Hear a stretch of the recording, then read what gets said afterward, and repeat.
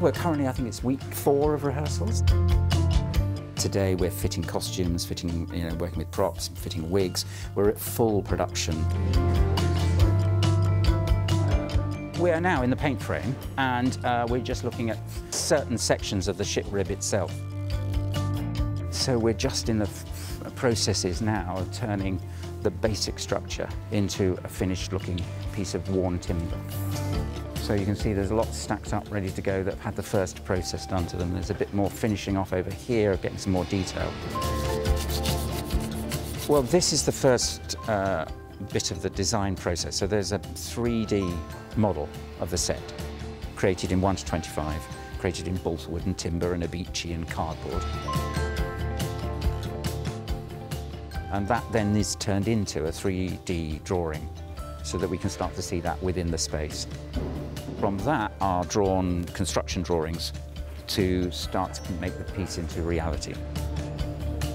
We've taken a lot of references from the Mary Rose because what's great about that is it's a, a, sh a ship virtually of the era in which the play was written, if, be it 50 years just before you get a great cross-section through the ship itself. And uh, very quickly, as I looked at these images, one of the first bits of inspiration for the play, it starts to relate to the Royal Shakespeare Theatre in my eye. You get the, you get the stalls level, the first gallery and the upper gallery level. That instantly led itself to a, a structure that could fit within this theatre. One of the kind of greatest thrills of working of the RSC is having that body of expertise behind you as a designer. The weight of experience of costume makers and prop makers and painters and scenic builders. It's a kind of corny thing to say a family, but if you've worked together as much as I think we now have, this is probably my 22nd show, I think, for the Royal Shakespeare Company, you sort of know each other, how each other work, and I've come to really rely on their great skills and their expertise. I suppose one of the greatest challenges is starting to use materials that you've not used before and how they might all work together in the space, how they might react to the projection, how they might react to the lighting. This is the actual floor. So um, this is another major installation. So we basically pull out the whole existing stage of the RST and it gets replaced with this. You have to take these big risks and you have to, you have to challenge yourself artistically. It's better to do that when you feel surrounded by a volume of really talented people who will carry you along a bit.